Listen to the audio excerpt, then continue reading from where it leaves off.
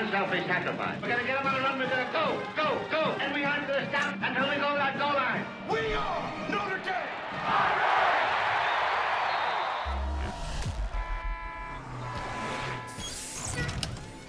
Get on the bus. Next stop, Notre Dame Stadium. From the house that Rockne built to the dynasty of Ara Parseghian, this is the home of Fighting Irish football. The place where greatness is earned one yard at a time. The field that forged Notre Dame legends like Theismann, Montana, and Brown. The land of never quit, never surrender. The legacy, the passion, the tradition. That is Notre Dame football. ABC 57 kickoff is back. Bigger and better. than ever. Another season of Fighting Irish football. It all starts here. This is our house. This is our team. And this is, Is ABC ABC 57 57 Kickoff. You're watching ABC 57 Kickoff, presented by Afdent Dental, with your hosts, Allison Hayes and Vahid Sadrzadeh. Fighting Irish are back on the road, getting ready to face off against the Duke Blue Devils. This is a live look at Wallace Wade Stadium in Durham, North Carolina, a top 20 matchup under the lights. Welcome to ABC 57 Kickoff. I'm Allison Hayes. It's been a rough week for Coach Marcus Freeman and the Irish and fans as they try to move past the disappointment of last week, losing to Ohio State in the final seconds. Definitely a tough pill to swallow. Now, the Irish dropped two spots in the Associated Press poll this week to number 11. They are 13 in the coaches poll, and now, for the second straight week, Notre Dame faces a ranked opponent in prime time. Now, as for Duke, the Blue Devils are undefeated and ranked 17th. They easily beat UConn last week and won their first four games by 20 points or more. Head coach Mike Elko is no stranger to the Irish, of course. He was the defensive coordinator under Brian Kelly in 2017. And the Duke defense is among the best in the country and expected to give the Irish a run for their money. But before we break down tonight's matchup, we need to talk about Ohio State. I know, I know. The glaring mistake Notre Dame made, of course, at the end of that game, the Irish only had 10 defenders on the field for the last two plays of the game, the most important plays of the game. ABC 57 kickoffs. Levon Whitaker made the trip to Durham, and he joined us now live outside Wallace Wade Stadium. Hey, Levon. Yeah, Allison, for the 2023 Irish defense, the buck stops with me. Those were the words of defensive coordinator Al Golden when I asked him earlier this week what happened for Notre Dame to only have 10 players on the field on the last two plays of the game and ultimately end up costing them the game against Ohio State. At the end of the day, um, if there's lack of execution or miscommunication or, or anything uh, that, that takes away from the, the, the execution and result that we want, uh, that's my responsibility. The Notre Dame coaching staff says they knew they only had 10 players on the field, seven ticks on the clock, ball on the one yard. We were trying to get a fourth D lineman on the field, and I told him just stay off because we can't we can't afford a penalty. I didn't have any timeouts, right? So we couldn't afford a penalty there. But that was the second play in a row the Irish were down a man. Personally, like I'm sitting on the sideline, I, I kick myself in the butt for not seeing it. The first time, Ohio State quarterback Kyle McCord bailed the Irish defense out with an overthrown pass to Marvin Harrison Jr. But had Freeman taken the penalty after noticing the missing defensive lineman, it would have put the Buckeyes on the half yard line. Let's not give them a freebie from a half yard line, and um, let's try to stop them. You know, and I thought maybe they would do the same thing they did the snap before. They didn't. They ended up running the ball. Ohio State ran the ball exactly where the fourth lineman was missing. You know, to be on the losing side, it, it, it's, it, it hurts, it stinks, but we got to own it. We got to learn from it. But there is a lesson to be learned here for the Irish as they get ready for the Duke Blue Devils. We can't um, let 10 guys be on the field and not see it. But two, you know, we have to be able to, we, came up with a call, a signal to be able to say, hey, you have to jump off sides and, and, and touch somebody on the offense so you can stop the play, right? And so it was a learning opportunity for myself and everybody um, involved with our program. Well, 24 hours. That's how long the Notre Dame team had to soak in their feelings after a tough loss to Ohio State. I mean, the crazy part is they scored 14 unanswered points against Ohio State just to lose in the final seconds of the game. But just as we talked to defensive coordinator Al Golden, we talked to players earlier this week. They said, listen, we cannot dwell on the past. We cannot live in the final seconds of the Ohio State loss. Instead, they must focus on Duke and every team going into the rest of this season if they want to have a successful season and a successful ending after a tough loss in week five. Well, and Levon, of course, kind of coming out this week again that this wasn't the first time the Irish have been caught short-handed. It also happened in the home opener on Tennessee State's opening drive. But the Irish were bailed out in that situation as well. The Tigers QB underthrew the pass and the receiver slipped. It was a play that could have tied the game at seven all. I hate to be one of those people that is like piling it on, but this is something that just simply cannot happen, and now it's happened three times just in this season alone. Well, Allison, me, you, and the rest of America are, are not are not palling on Notre Dame. We're simply holding them accountable. They should hold themselves accountable. I mean, you cannot allow 10 players to be on the field at any point of the game, whether that's offense or defense. And unfortunately, that falls on the, on the hands of Al Golden. And especially when you lose to Ohio State. I mean, that's a top 10 matchup. You lost to them last year, and you hate to see that loss come out here and and like they did last year, they came out after the loss to Ohio State. They lost to Marshall, so you hate to see a repeat of that this year after a pretty tough ending. I, I, do think that Marcus Freeman's going to have them ready for this game. I don't think there will be a repeat from last season, but we'll see. The difference, of course, from that Tennessee State game to this Ohio State game with the 10 men on the field, no one really noticed it against Tennessee State. Everybody noticed it against Ohio State. It was brought to everyone's attention, so there's no pretending like it didn't happen. They have to be held accountable and make a plan in place to move forward. All right, Levon, we'll check back in with you in just a little bit. Now, when you think of Duke, you automatically think basketball, right? But under Coach Mike Elko, the Blue Devils football team has had one of the best starts in program history. Now, this is the first time in nearly 30 years a ranked Duke team is hosting a ranked opponent. Elko even calling tonight's game one of the biggest in Blue Devils history. This is a complete football team for sure. I, I, think offensively, you know, it starts with the offensive line. You know, it's it's going to be the biggest offensive line that we've played against. I think the way they're playing defense right now um, is phenomenal. I think they're pressuring the quarterback. They're setting edges in the run game. They're not allowing people to run the ball. They're suffocating in coverage. We're a humble group. I, I think the biggest thing is getting them to understand that they should be confident in their preparation, confident in how they've trained. It should be a great stage Saturday night. So excited for it. Well, Duke is led by dual threat quarterback Riley Leonard with 778 passing yards and two touchdowns, plus four rushing touchdowns. That's really where he's most dangerous.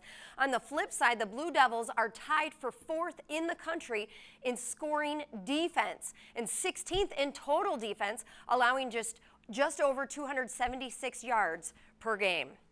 Well, hey, we are just getting started here on ABC 57 Kickoff. Up next, an Irish injury report.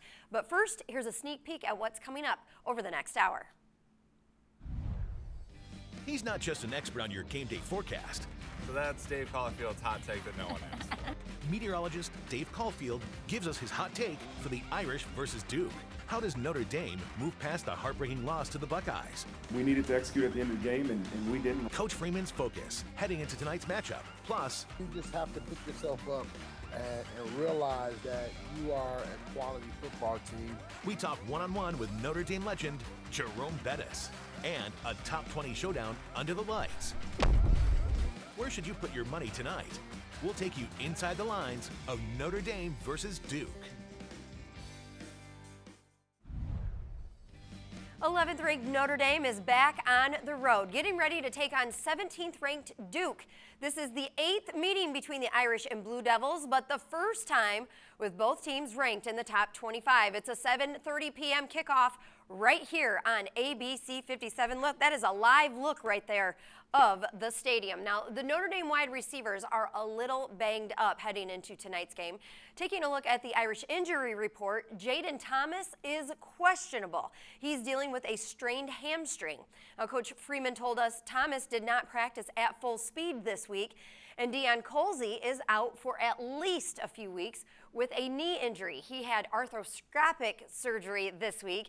The Irish were already without Matt Salerno. He's sidelined dealing with a leg injury from the Tennessee State game.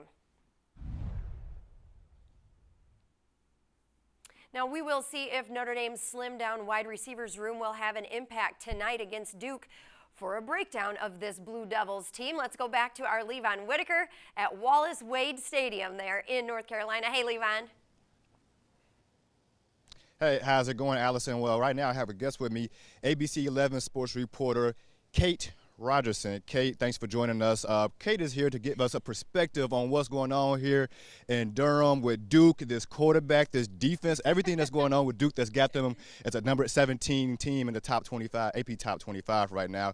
Uh, Kate, we've seen a lot out of both of these teams, but Tell us about Mike El- uh, Mike Elko. He's a defensive-minded coach for Duke. And he was a defensive coordinator at Notre Dame. He also spent four years at Texas A&M. Tell us a little bit about him and his defense. I think the thing is about Coach Elko is that he's so smart. Now every coach is smart, but the thing about Coach Elko is that he knows how to build a program. He was at Notre Dame in a program that's so historic. He was at Texas A&M where football is king, and now you come to Duke where this is a basketball school. You know what I mean? They're really strong in academics. They're really strong in basketball, so he knows how to build a program and how to establish a culture. So that translates into the defense. Duke's defense, I believe, is fourth in the nation with points allowed just under nine points a game. So anything you get from Duke's defense, you got to earn it. So in terms of what they do, they play very sound, they play very simple, but they will attack and they will be ball hawks when it comes to defense.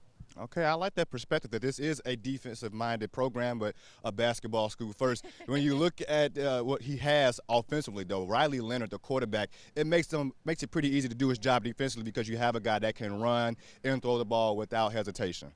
The thing about Riley Leonard is, is that he had a really strong season last year, and people kind of thought last year was a fluke for Duke football. But then he came in in that game versus Clemson on the national stage, the only game on Labor Day that was played, and he shocked people. What is really dynamic about Riley are his legs. I was saying to you, he kind of runs like a giraffe. It's kind of like the team joke that he just takes off and goes like the wind. It's not that he doesn't have an arm and can't like pass it downfield. It's just they create plays for him because of his awareness. And part of his awareness and his ability to accelerate and play well in the pocket is because their offensive line has so much experience and so much depth that Riley has some time in the pocket to make those decisions and kind of digest what's out there and what's being given to him.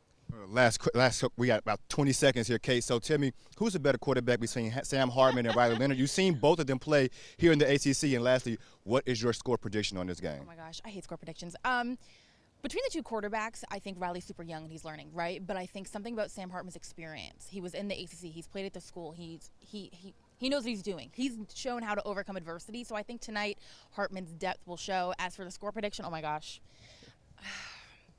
Putting you on the spot. I know, I know, I know. I don't like this part. Um, I'm going to say Duke wins 24 21. Ooh, I love it. I love it. Okay, well, okay, we got hours. I mean, hours to find out what the score would be in this game. 7:30 kickoff here at Wallace Wade Stadium. I'm Levon Whitaker.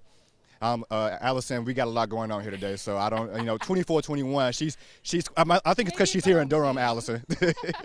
Definitely, she's there in Durham. She, she's the insider there for Duke. Great job, you guys. Thank you, Levon. Thank you, Kate. We'll check back in with you in just a little bit, Levon. Now, the Irish taking on Duke tonight under the lights. Up next, a check of your game day forecast, plus meteorologist Dave Caulfield. Oh yeah, he gives his hot take. You don't want to miss that. Well, good Saturday morning. It is a beautiful day across Michiana and in Durham, North Carolina as well. Very similar weather setting up for kickoff time. If we were in South Bend at Notre Dame Stadium, temperatures would be in the low 70s and just a degree of a difference in Durham. Clear skies and beautiful in both locations, so should be great weather tonight for the start of that game and throughout uh, the rest of the contest. Temperatures in the 70s to start it off, and we're talking about uh, temperatures falling through the 60s throughout the second half of the game as well. So we are looking really, really nice uh, as we head into that primetime matchup under the lights with Notre Dame and Duke really no weather worries to speak of. Initially, it was looking maybe a little bit breezy, but that part of the forecast I backed off on. So wind shouldn't be an issue. Hopefully, that doesn't uh, impact anything like the kicking game or anything like that. So should be really nice weather.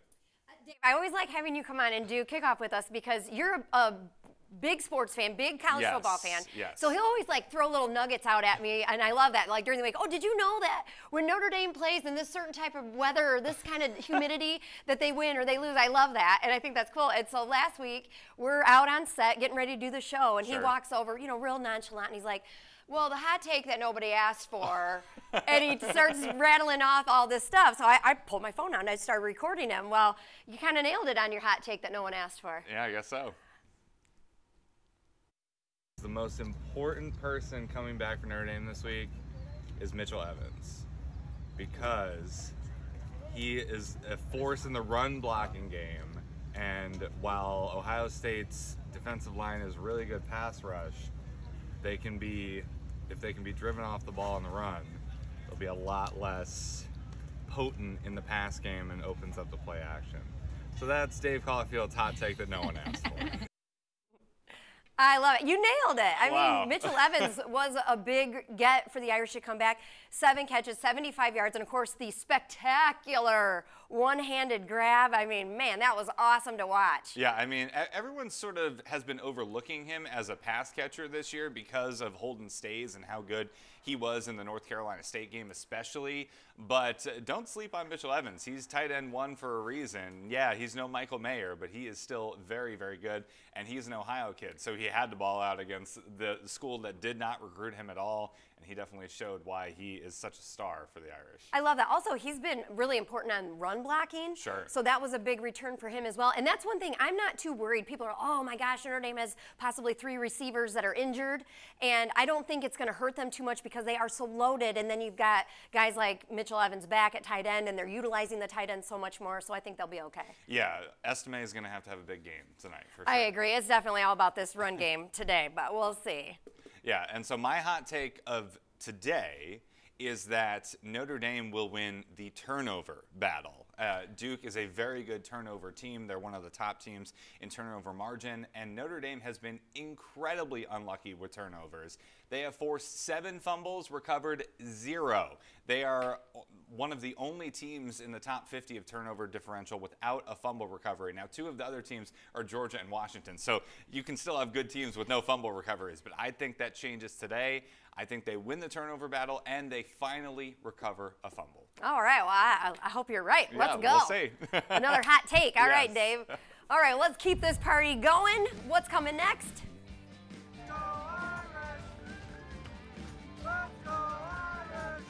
From Ireland to Ohio State and everywhere in between, we're just about halfway through the season, but we've already made a lifetime of memories. We take a look back at some of the fun we've had right here on ABC 57 Kickoff. Next. The Irish are just about halfway through the season, and so far, it's been quite the ride. Not only for Notre Dame, but for ABC 57 Kickoff, too. We go beyond the X's and O's, having fun with Notre Dame coaches, players, legends, not to mention the epic road trips. We've climbed mountains in Ireland and walked the streets of Dublin with a Notre Dame leprechaun. I actually love it. I love it. And even shared a pint or two of the good stuff along the way. We've graced the stage at the Knute Rockne Spirit of Sports Awards. Jack Mullins. Got it. We've gone inside the lines. I went out and I made this uh, Levi's parlays for anybody looking to win some money. And inside the tailgates. From a step show Well, we walks it, we runs it, we twist, we hop, we stand for oh. to the most popular fan at Notre Dame, Obi. Let's do it. And our live guests have been some of the best we've ever had. Look at this crew behind me. I mean, come on. I don't want to go anyplace else. From quarterbacks like Brandon Wimbush and Evan Sharpley to running backs Cam McDaniel, John Mosley, and Ryan Grant.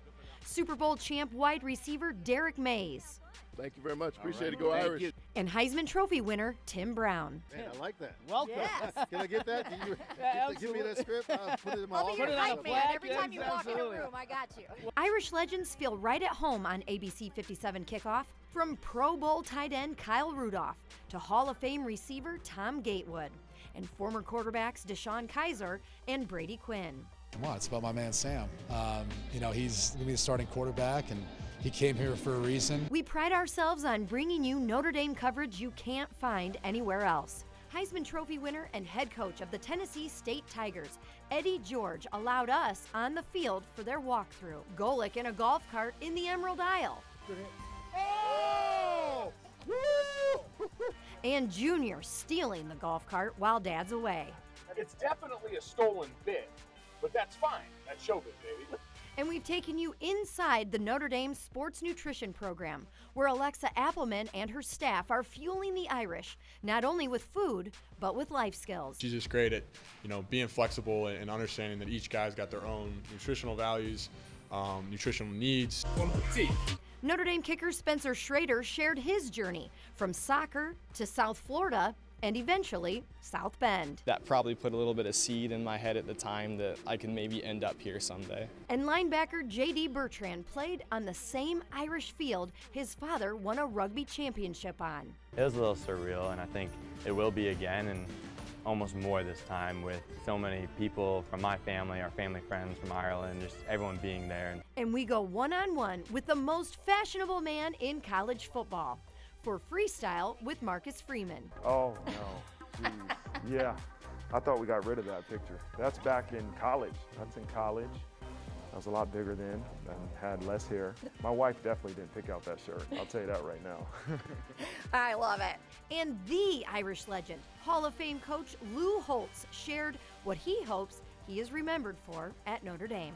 Well, my wife is very Harris, and all our children would go to her gravesite, and we have a beautiful tombstone, not outlandish, but it's a nice, and it has Beth Holtz and Lou Holtz, and people say, I didn't know he died. In any event, I don't worry about legacy. I just try make good choices, follow three rules, and you always will. Rule number one, do what's right. Rule number two, do everything the best of your ability. And the third rule is show people you care. Well, he was certainly controversial this week, wasn't he? Now, we are not slowing down anytime soon, and we are back on the road next week at Louisville.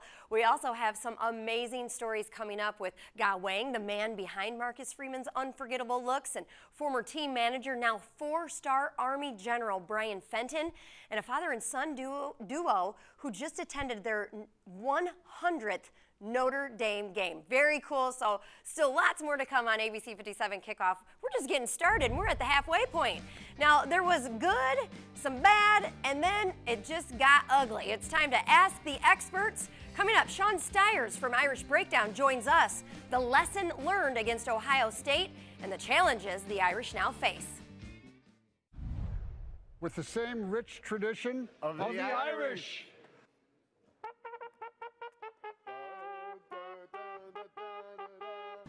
Wake up the echoes cheering her name. Send the volley cheer on high. Shake down the thunder from the sky. What though the odds be great or small? Old Notre Dame will win overall. While her loyal sons and daughters march on to victory. It's Tim Brown, Heisman Trophy winner, and you're watching ABC 57 Kickoff. You're watching ABC 57 Kickoff, presented by Afdent Dental, with your hosts, Allison Hayes and Vahid Sadrzadeh. You are taking a live look at Wallace Wade Stadium, where the Irish will be trying to avoid a hangover as they get ready to face off against the 17th ranked Blue Devils. It's a 7:30 kickoff tonight right here on ABC 57. Well, welcome back to ABC 57 Kickoff. I'm Allison Hayes. Beating Duke tonight could help get Notre Dame's season back on track, but a second straight loss would put an end to any hope of reaching the college football playoffs. ABC 57's Levon Whitaker joining us now live once again from Durham, where the Irish not ready to hit the panic button just yet. Yeah, well, Allison, that's because it was tough to see, but Notre Dame actually had a lot of, a lot of positives in that loss to Ohio State. Now, going back to last year's matchup, first week of the season, Freeman said the Irish were playing not to lose against Ohio State, but this year he said they actually played to win. They did their best. Unfortunately, it just came down to the very last play of the game that changed the narrative and the entire outcome of that game against Ohio State.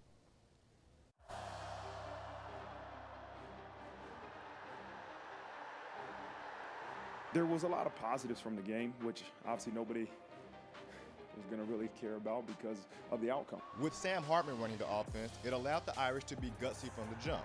I mean, anytime we're across the 50, I mean, I'm going to probably go for it on fourth and one. You're either going to be all in and do it or not. That mentality kept the Irish off the board in the first half, and they didn't score on the first two drives in Buckeyes territory. We have to be able to make our field goals. We can't miss field goals. But after 10 unanswered points, Hartman settled in. The Notre Dame O line looked like one of the best in the country. The running backs opened up the pass game, and the Irish went on their own 14 0 run. If you would have told me going into that game we would have had zero three and outs, zero sacks, zero turnover, zero drops, zero penalties, run for 176 yards, and not win, I would have said, no way. It's hard to believe, especially if you're Mitchell Evans, who racked up seven catches for 75 yards. I learned that, like, you know, put a linebacker on me, I'll win. Put a safety on me, I'll win.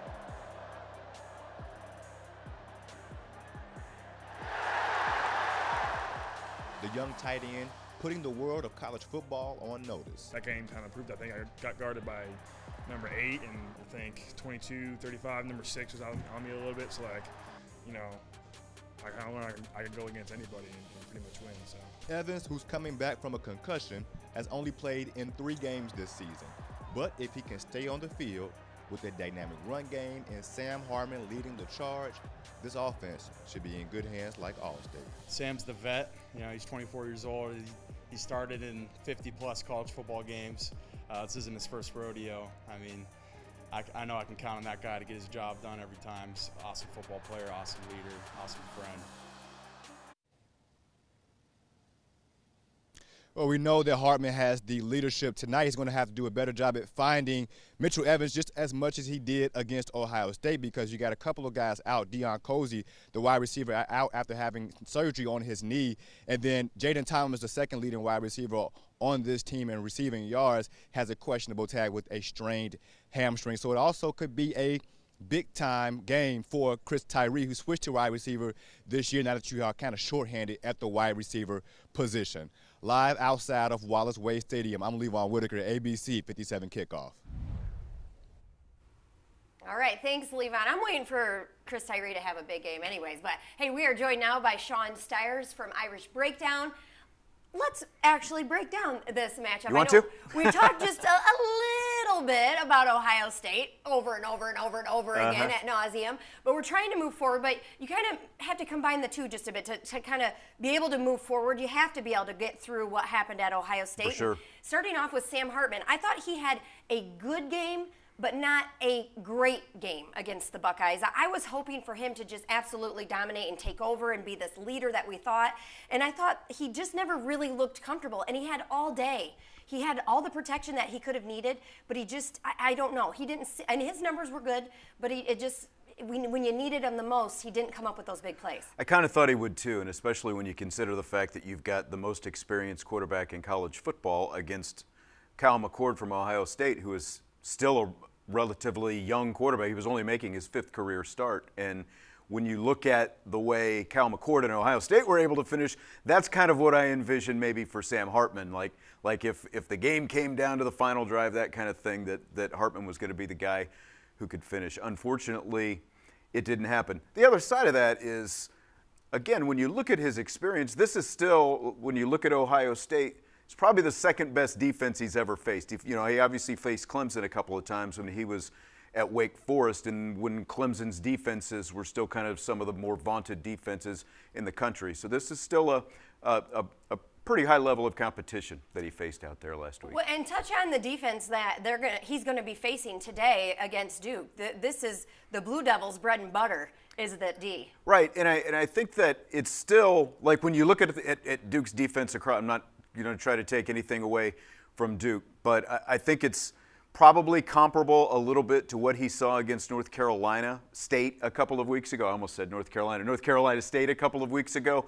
Like uh, just across the board, the biggest thing that they do is turn the ball over. They're they're number nine in the country in turnover margin. Last year they were plus 16 in turnover margin. They're not quite that good last year, but they really lean on this defense to to put the offense in good situations.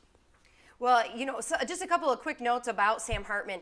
He's 20 has 21 completions of 20 yards or more. That's tied for sixth best in the FBS. Meanwhile, the Duke Blue Devils that that's been one of the things that they are leading the country in in preventing. They've only just allowed one pass of more or of 18 yards this season. That was against Clemson. Right. So that's something to be a, keep an eye out for as well. And Wake Forest last year when Sam Hartman was the quarterback, lost to the Blue Devils in November. So he's got some history there as well. Let's move us forward here just a little bit. Um, you know, every week we ask Marcus Freeman about that pass rush and how important it is. But uh, how important is it, especially this week, when you've got a quarterback like Riley Leonard at Duke who's mobile, he can run it, he can pass it? Well, it's funny because, again, like if I'm using North Carolina State as the comp, they have Brennan Armstrong, very mobile quarterback. Notre Dame did a great job of keeping him in check that day. Duke has Riley Leonard, who's a very mobile quarterback. They really rely on Riley Leonard for their offense.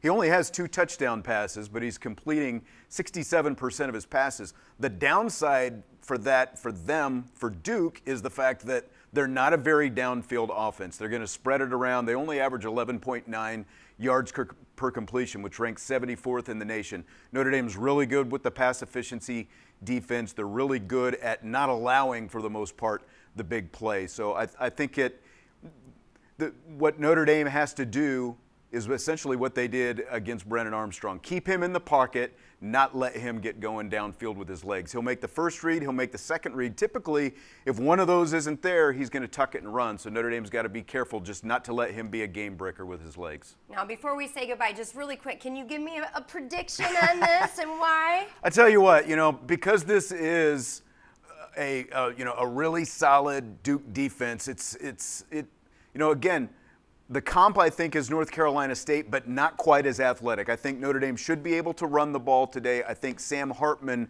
should be able to distribute the ball and kind of play off that that run. Let's see more Audric Estime today. um, I think Notre Dame I'm, I, I did my prediction a little on the conservative side. I've got Notre Dame winning 30 to 17. I think I think it could be, you know, maybe within a touchdown either direction of that, though. All right. Of course, the Notre Dame insider taking the Irish are the, the uh, Duke insider taking the Blue Devils of course. today.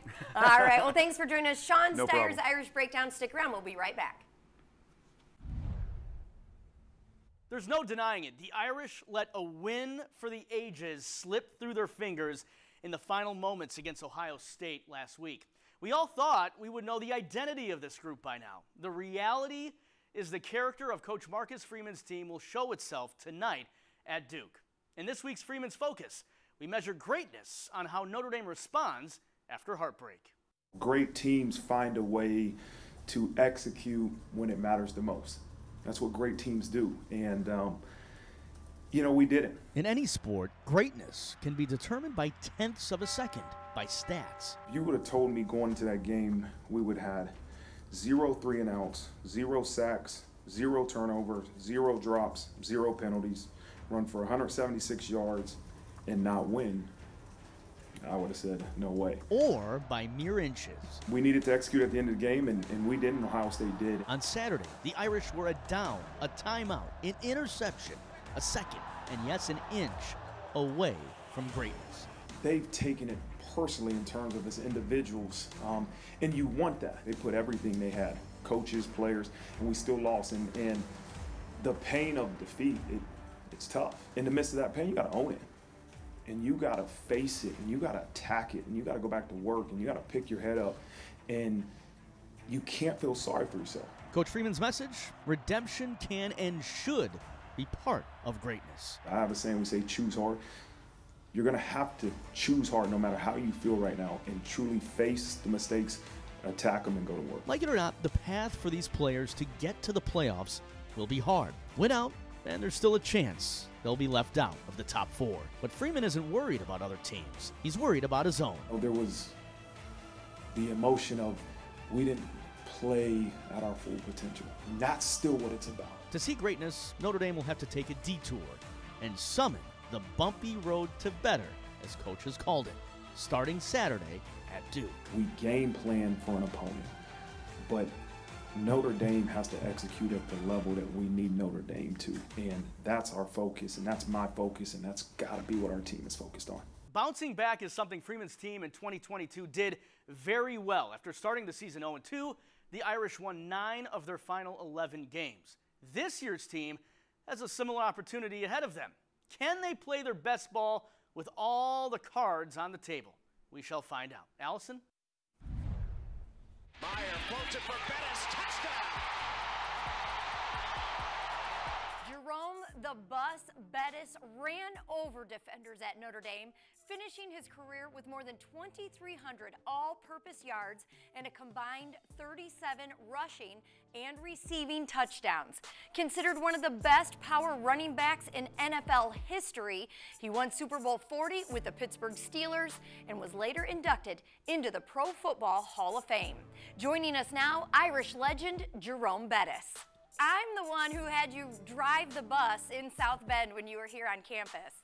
I remember. Oh, I remember. yeah. Yes, in the parking lot at the hockey arena. Yes, sir. We still use that today. It's epic. It's one of the best things we've ever done at the station, so we can't thank you enough for that. Of course, the Irish are coming off an, a heartbreaker of a loss against Ohio State. I just wonder, in your career, did you ever suffer a, just a devastating loss similar to that? And how do you overcome that as a player and as a team, especially when Notre Dame has an undefeated Duke up next?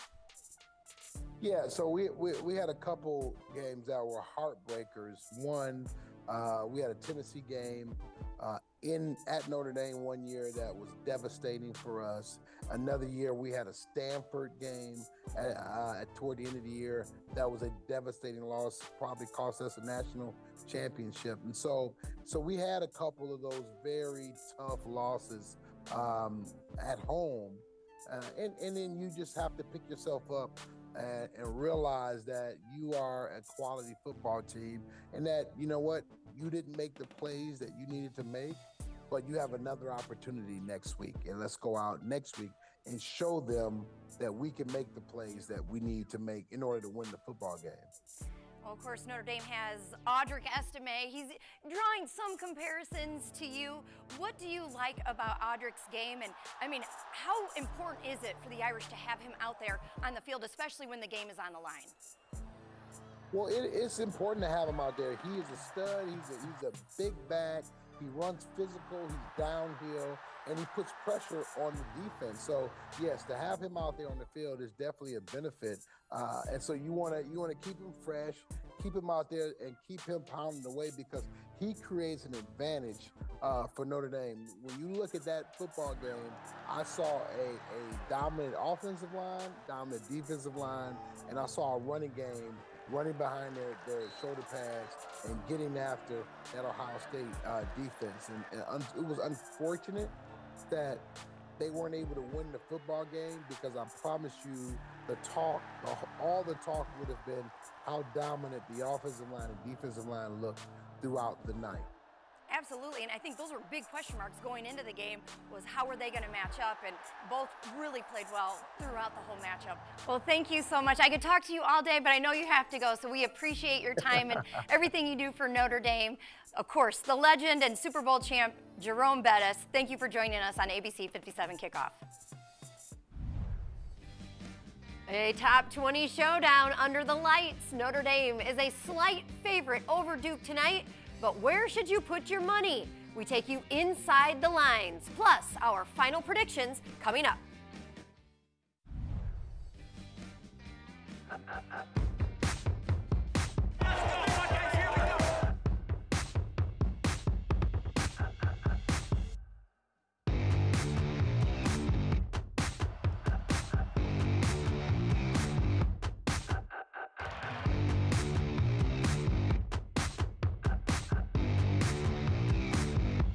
my little one-two at the top, and I just look at my, the, the ball's there. I'm like, oh, Sam threw it.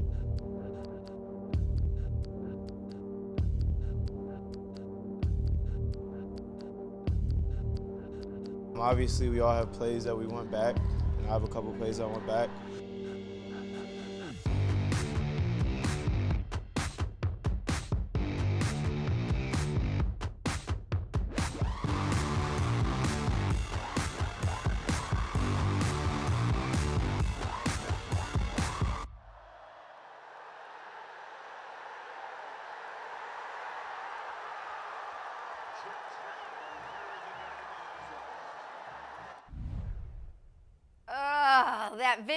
Me so fired up until that final shot Yeah, of the players. tough to watch at the Oh, end. the fans, you just relive it over and over and over again. But A lot of good happened in that game that Sure. keeps getting lost in the final seconds, but a, a loss is an L on the schedule, so what do you do? But hey, at last check, Notre Dame, a five and a half point favorite today. The over under is 52 and a half points. It was a defensive battle last week against Ohio State, but this week, the Irish face a new and improved Duke. Yeah, and it should be great weather for that game, but where should you place your money? Not on the forecast because that's going to be money, but let's send it to ABC 57's Levon Whitaker live in Durham for the answer. Levon?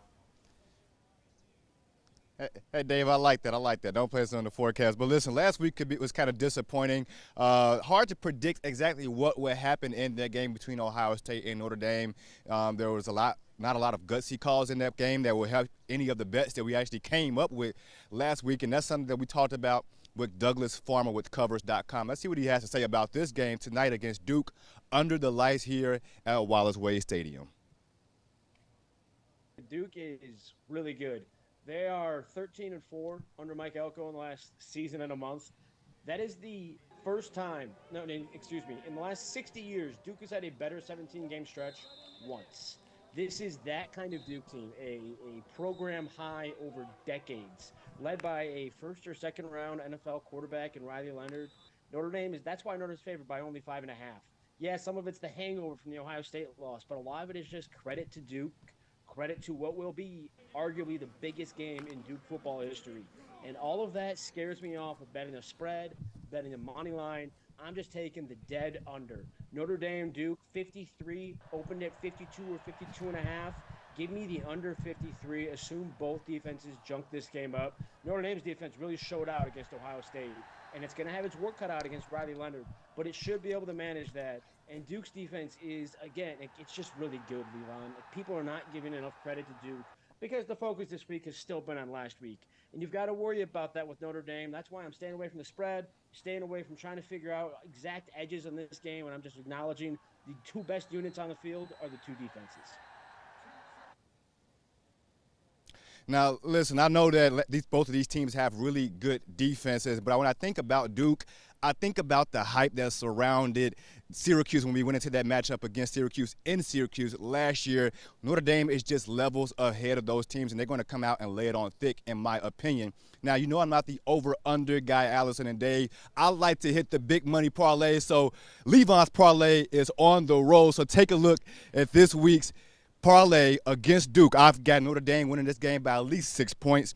Audric Estime two touchdowns. Mitchell, yeah, you can boo. You can boo all you want. Mitchell Evans over 52 and a half receiving yards. Chris Tyree over 34 and a half receiving yards. And Sam Hartman two plus touchdowns. They're booing, but they're going to be sad tonight like we were last week against Ohio State. All right, Levi, I love it. And you said you Go liked everything he had for the parlays except for one thing. Yeah, I would switch the tight ends, Levon. I think Mitchell Evans is going to take more of a run blocking back seat this game, and Holden Staes, after not really being a factor last week, is going to replace him as the number one tight end receiving wise this week. Well, We will see. All right, I want to get some. Uh, I wish I could have made that bet. predictions Set. here. He wasn't available. All right, who's going to get the first score in this game today? Uh, If you take a look at our look at this, everybody all the way around, me, you, Vahid, everybody says Audric Estime. He should get the first touchdown. He should get the last touchdown. He should be on the field the whole game. Let that man do his job. Let him eat. Yeah, exactly. All right, our next one is who's going to get the first turnover in this game? And Dave, you said you think that turnovers are going to be a huge issue in this game. Yeah, I mean, Duke is such a, uh good team in forcing turnovers and hanging on to those turnovers. Uh, we, I think, are finally going to see Notre Dame end their terrible fumble recovery luck. They've forced seven fumbles this year. recovered zero of them. That is not a great stat. It has to change sometime, and I think tonight is the night where it happens. And Howard Cross is going to get that fumble recovery. All right, as we're running out of time here, final score predictions. Levon, what you got? I got 30 to 14 Notre Dame. They're going to lay it on thick once again. The run game, Audric Estime, a career high in carries tonight. All right, great job, Levon. We'll look forward to your reports from Durham tonight. You'll watch the game right here on ABC 57 at 7:30. Thank you for watching ABC 57 Kickoff. Go Irish.